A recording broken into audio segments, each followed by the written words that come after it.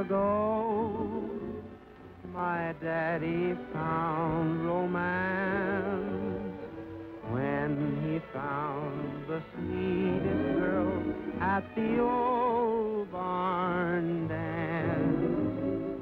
Western music swept across the country on America's radio airwaves.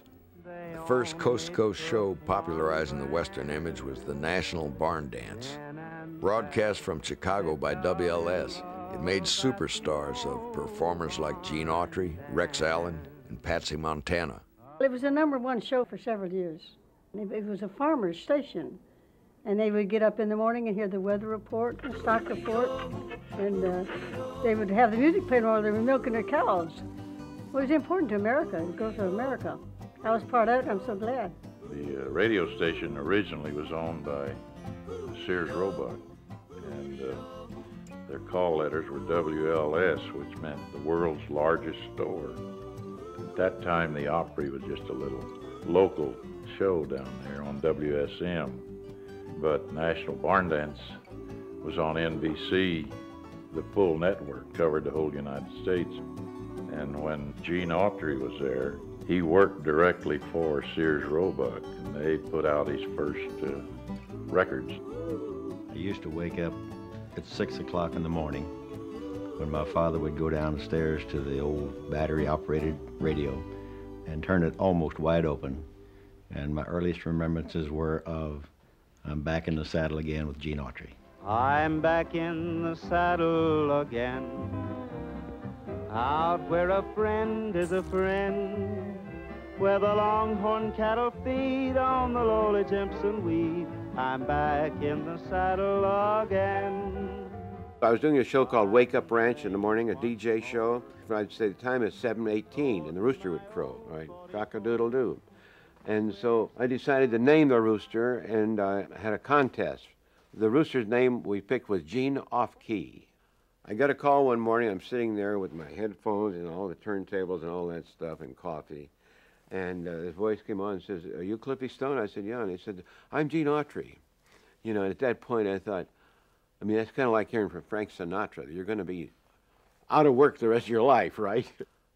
And he said, I've been hearing about this Gene Off Key you've got down there. I'd like to come down and meet him. And so he did. And I introduced him to the rooster. I'm on the radio, and he talked to the rooster. In a vine covered shack in the mountains, bravely fighting the battle of time, is a dear one who's weathered life's sorrow, is that silver-haired daddy of mine. That silver haired daddy of mine was Autry's first big hit. It sold over 3 million copies, and in 1933 he received a gold record, beginning a tradition that continues today. He was selling a lot of records off the barn dance in Chicago before he ever even went and got on the movies. First of all, he was, in those days, bigger than Garth Brooks is now, and then they put him in movies and he became bigger than, than all of them, you know. Oh, it's roundup time in Reno, but the boys don't ride the ridge. By 1934, Autry was a movie star, too.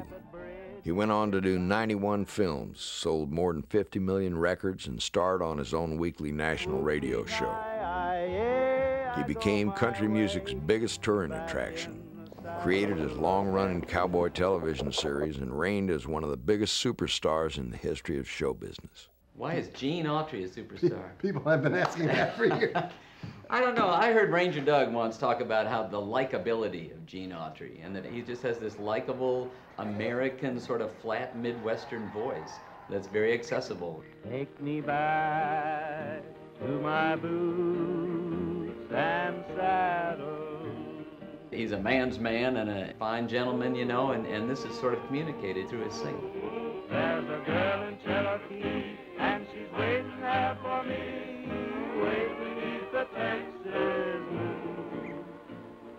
back.